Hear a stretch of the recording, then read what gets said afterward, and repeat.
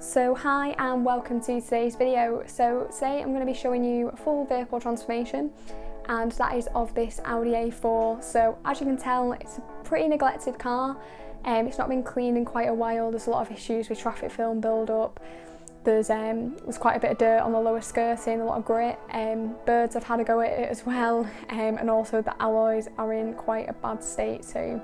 So in this video, I'm basically going to be doing a full clean, decontamination, and I'm going to apply a glaze just to help kind of boost the gloss and also apply some paint protection at the end. So I'm just going to be showing you the kind of full process of that. So of course, with most videos, it's just going to start off with a full pressure wash down. So here, I'm just using my Karcher K4. I'm just trying to remove as much of this dirt and dust as possible before moving on to the contact wash um, and also the pre-wash as well. So really because there wasn't too much sort of paint protection on this vehicle at this time, um, not too much comes off at this stage. It's, it requires sort of more of a pre-wash to actually get rid of most of the dirt. So if you've been around for any number of time, you probably will know that Bilt Bilthamber Foam is one of my go-to snow foams. I think it's an absolutely fantastic snow foam in terms of cleaning ability.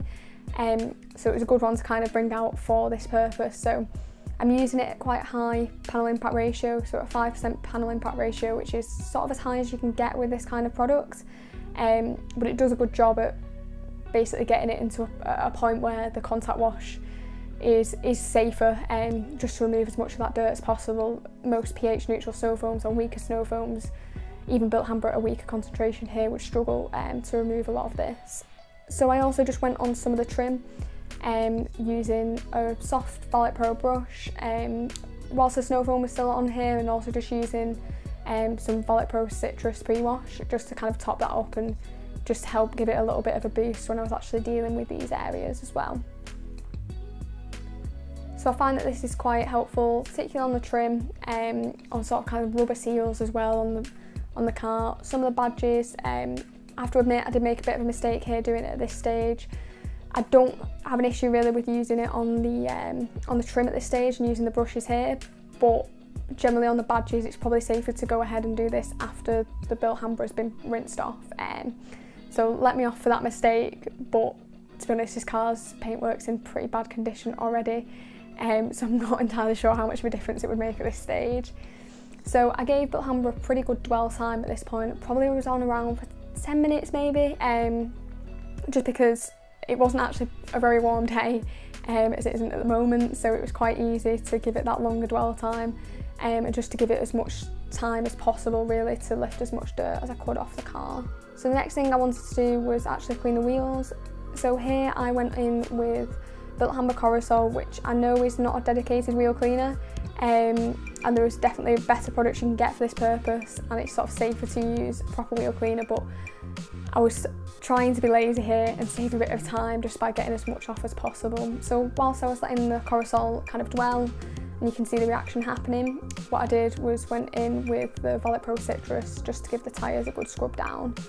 And then once that was done, it was ready to power wash off and then go in with the contact wash of the wheels. So for this, I just topped it up again with um, the Korrosol and I also went in with Garage Therapy's One Wheel Shampoo, which is a really, really great product. Um, it has really, really good lubrication, so it definitely makes it a lot safer when you're dealing, particularly with really dirty wheels, um, when you don't want to be rubbing that brake dust in because you know you're going to cause scratches.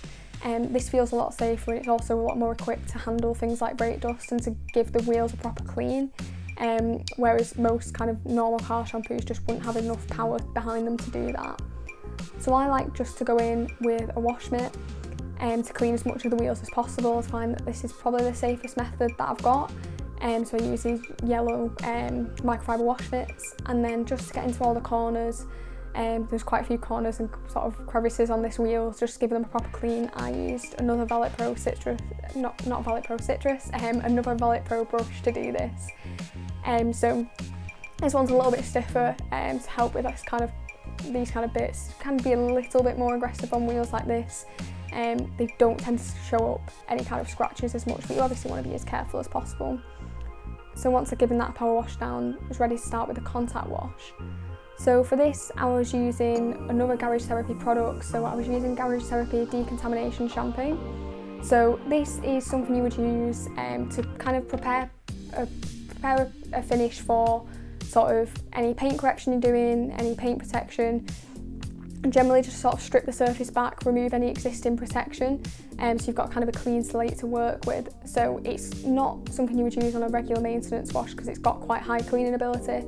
So again, it really does help with cars like this that are just absolutely filthy. And although a pH neutral shampoo would probably, after Bilt Hamber Auto Foam, re remove quite a lot of it and you wouldn't really have any issues with cleaning ability, but this just gives it a really sort of thorough clean, which is particularly what you need if you're planning on doing later steps like paint protection um, and applying the glaze, which was what I did um, after doing the full decontamination. So I used, I think it was around 30 ml in the bucket here, um, so pretty standard amount. You can actually apply this as a snow foam um, and use this separately, but I just went ahead and did the contact wash.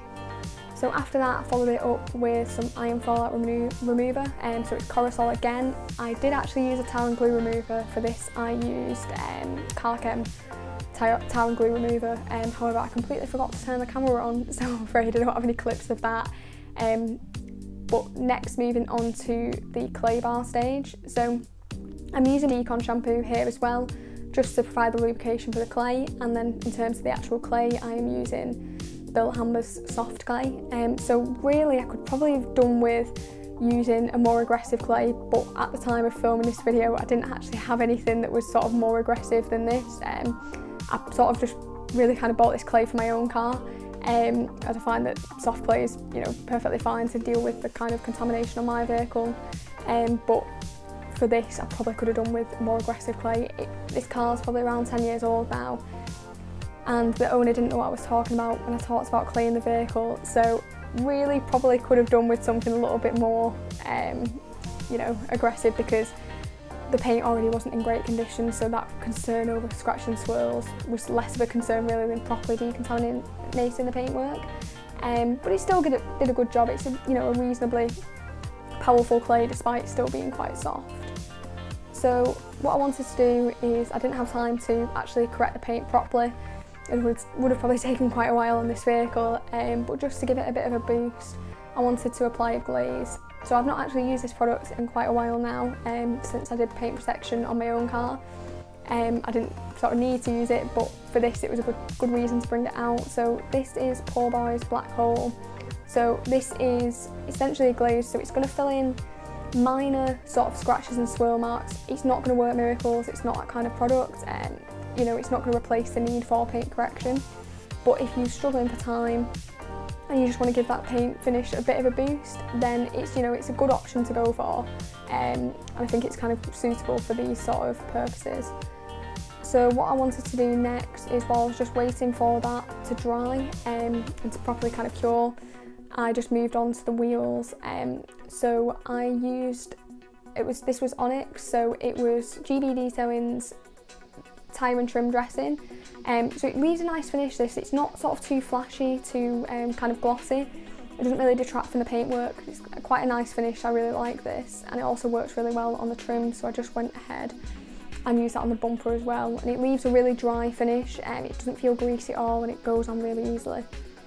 Um, so another product that's really easy to use is going back to this Poor Boys Black Hole in terms of removing the product, there is absolutely no effort whatsoever to remove this product. It's probably the easiest product I've ever worked with. Um, it just comes off the panel so easily just with one wipe. You don't have to spend hours buffing it and just, it doesn't feel like a workout to remove this product so it's a really nice one to work with. Um, I do really like using this and I think that it did, you know, hide some of the minor kind of scratches and swirl marks and just give a little bit of an overall boost in gloss which is all I was really looking for at this point. So as well with this, you know, it, it you can apply this under paint protection. It is going to reduce the, um, the sort of durability of it slightly, um, but it's to be honest, I've used it with like Fusso Coat in the past and not found a massive, massive impact in comparison to using it without. So I didn't really have an issue with using it here, um, and I still, you know, was happy to go ahead and apply a wax over the top of it.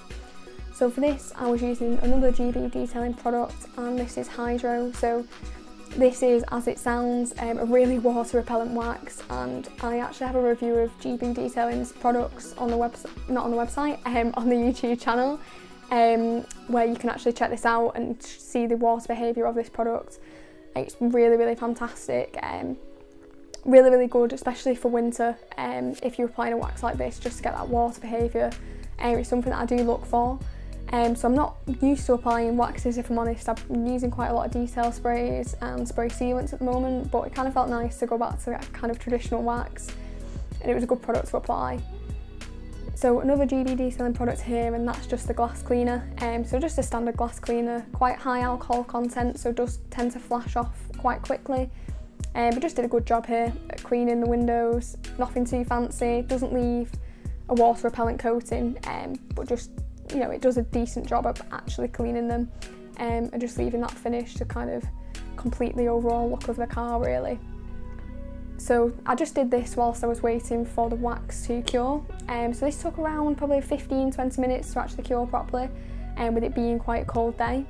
So then I just went ahead and buffed that off. So it's not the easiest wax in the world to buff off, but it's definitely not the hardest. I've dealt with a lot more difficult waxes to remove.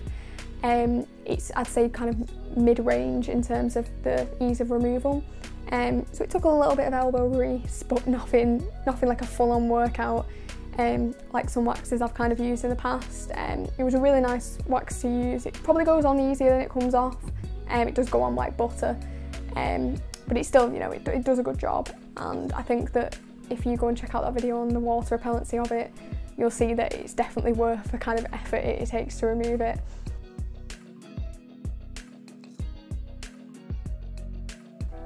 So here you can actually see the overall finish. Um, there's definitely some increase in the gloss, a big transformation from where we started.